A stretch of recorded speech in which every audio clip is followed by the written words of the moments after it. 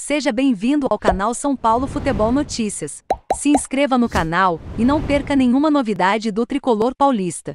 E fique até o final do vídeo que tem um presente para você. E vamos à notícia. São Paulo terá desfalque no time. Zagueiro do tricolor paulista representará Equador na data FIFA encarada como preparação para a Copa do Mundo no Catar 2022. O São Paulo terá o desfalque importante do zagueiro Arboleda convocado pelo Equador para a próxima data FIFA.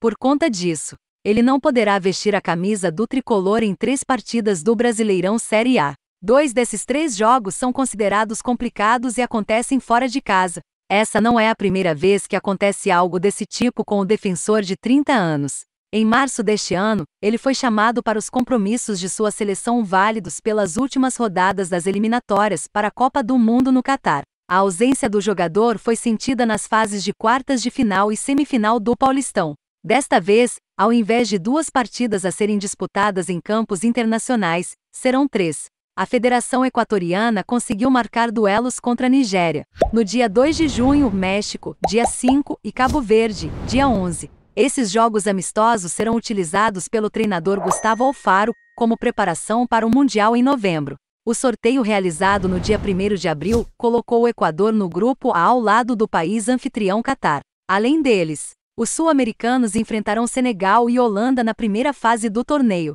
Essa será a quarta participação do país em toda a história das Copas. As outras aconteceram em 2002, 2006 e 2014. Desfalque no São Paulo.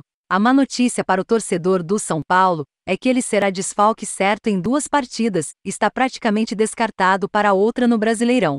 Esses jogos são contra o Havaí, no dia 4, e contra o Coritiba, dia 9, com ambas sendo realizadas longe do Morumbi. A dúvida fica para o encontro contra o América Mineiro, dia 12, nos domínios tricolores.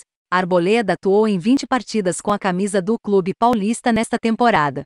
Os únicos quatro gols marcados por ele até agora saíram em duelos decisivos em confrontos na Copa do Brasil e na Sul-Americana. O treinador Rogério Ceni o colocou de titular em cinco das sete rodadas da Série A. Essa foi a notícia de hoje, espero que tenha gostado. Me diga